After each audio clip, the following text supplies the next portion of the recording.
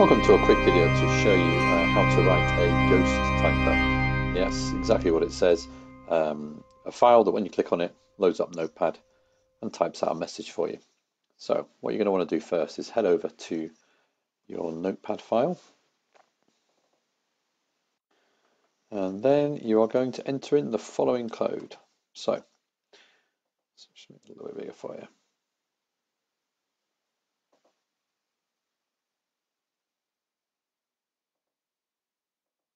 Okay, so we're going to use the, um, the shell, which is built into uh, the Windows operating system.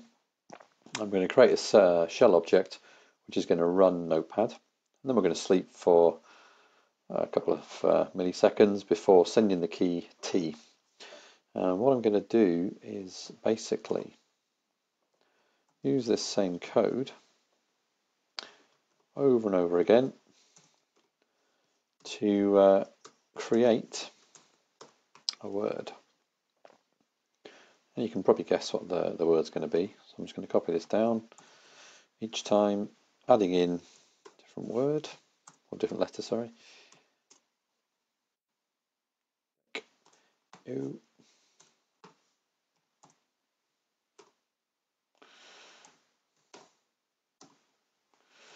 There we go. Now, to make it look like it's typing, obviously, uh, if you imagine if you're typing on your keyboard, you would type at different speeds. Um, you don't type at the same speed each letter.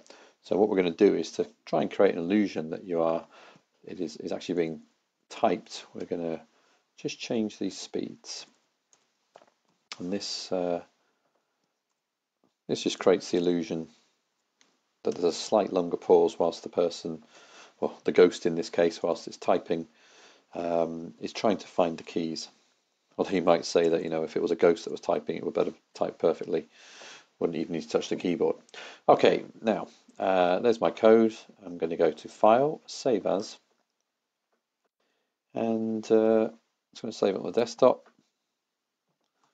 I'm just going to call it, um, just going to call it message. Obviously, name it whatever you want. Now, the important bit is this. First of all, change it to all files. And after message, you need to put dot VBS. So call it, um, give it a file name, and then um, .vbs, and change this to all files. Press save. We can now close that, and here is my message file. And I'm going to open it up now, and we can see the ghost typer in action.